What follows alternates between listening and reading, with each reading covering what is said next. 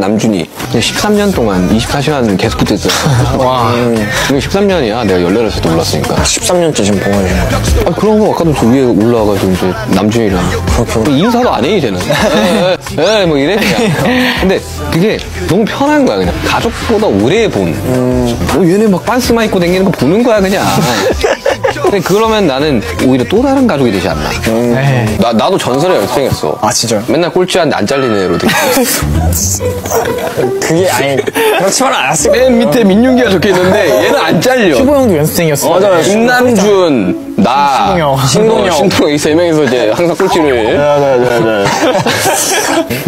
한번 네, 좀 쉬나. 하여튼 뭐 그런 것들을 왜? 아유, 좀 취했어요. 아, 좀 취했어요. 아, 기분 좋아하고. 우리 일곱 명 중에 보컬을 하고 있는 네 명은 데뷔 전까지만 해도 무대라는 걸 해본 적이 없는 친구들이야.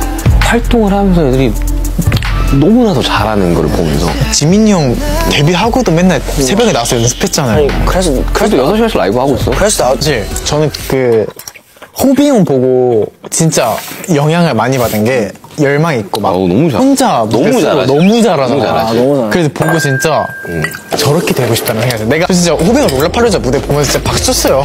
것도 생각을 해요 어떻게나 비슷하고 어떻게나 똑같아 야뭐 안되나 에리어 소통만 무의식적인 오염은 피할 수 없는 동요원 호비 형이랑 지금도 연락하는데 형그 연락하는 형이 세 명 있어요. 형이랑 호비 형, 지민이 형 이렇게 연락하는데 음, 아, 지민이 연락하는구나. 내가 심심해서 그래. 심- 심심한데, 뭐, 이렇게 후배들이랑 좀 이야기 좀 해볼까? 그게 심심한 거 말고는, 그게 심심한 거 말고는 사실 형한테 너무 감사한 게, 그렇게 챙겨주시는 형이 그러니까요, 진짜. 형밖에 없어요. 그냥 방송이라서가 아니라 형한테 사실 너무 감사한 게 제가 형한테도 물어봤었어요. 형 왜 그렇게 저희를 챙겨주세요? 약간 그러니까. 이렇게 여쭤봤었어. 내가 너무 궁금해서 근데 형이 우리 아니면 너한테 이런 얘기 누가 해줘? 라고 얘기했을 때 사실 너무 감사했었어요 진짜. 제가 뭔가 찍고 있어서가 아니라 형한테 그래서 너무 감사했어요. 그러니까 그랬었어요. 심심하다는 건 사실 농담이고 그냥 좀 우리는 선배가 없었잖아. 네. 선배가 없었고. 우리 2013년에 데뷔해가지고 5년 차. 5년 차라고 하면 17년까지지. 2017년. 너무 힘들고. 근데 우리는 물어볼 때도 없었고. 2017년 처음으로 빌보드로 갔었고. 첫 후배가 너네였고. 네. 그래서 내가 안 챙겨주면 누가 챙겨주지라는 생각이 좀 많았었거든. 아, 아 진짜 아, 사실 이런 선배님이 많이 없다고 생각해요. 그냥 찐으로 너무 감사하고 형한테 네 그랬었어요. 저도 그 너무 감동이었어요. 그, 그, 진짜 이, 대, 에. 이 대인배라고, 대인배라고 느껴지는 모먼트가 있잖아요. 취향이 얘기했던 대로 나는 그럴 사람이 없었다. 근데 본인은 해주잖아요.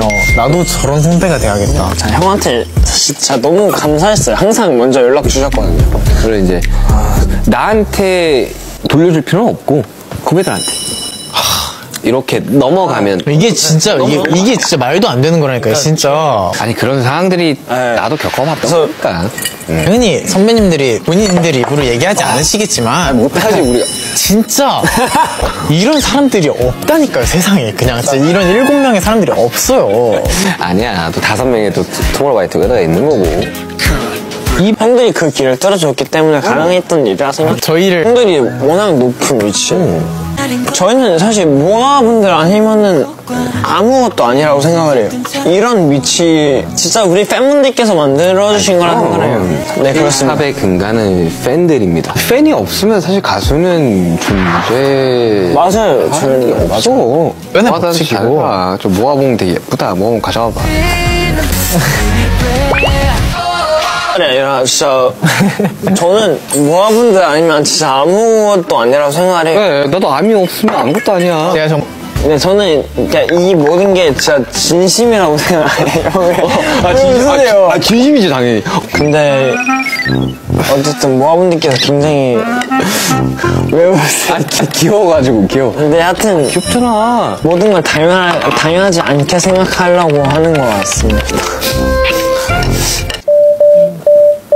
사실 과거로 돌아가고 싶은 마음이 없어요 왜냐면 저는 이를 보고 다시 돌아올 수 있다면은 28년 29년 네. 형들 형들한테 자랑스러운 후배가 되고 싶었어요. 형이랑 또 여섯 명 형들한테 정말 자랑스러운 후배가 되고 싶어요. 형이 사인한데요? 이거 어떡하냐.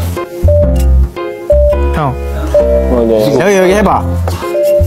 오 했어 했어 했어. 형 사인이 원래 이렇게 복잡했었나? 이거 연준이 형 사인이 아닌데. 나 모르겠다. 어우, 너 죽었다. 네, 많이. 빅히트. 오늘, 아, 오늘 진짜 많이 맞았어요. 빅히트. 얘 어떡하냐. 얘 어떡하냐. 아, 연준이는 진짜. 형, 형 괜찮아요. 어, 너 안 괜찮아. 형, 아, 잠깐, 아, 지- 좀 먹어. 좀 먹어. 또 주시면 더 감사합니다. 모아한테 한마디 해. 모아한테. 안녕.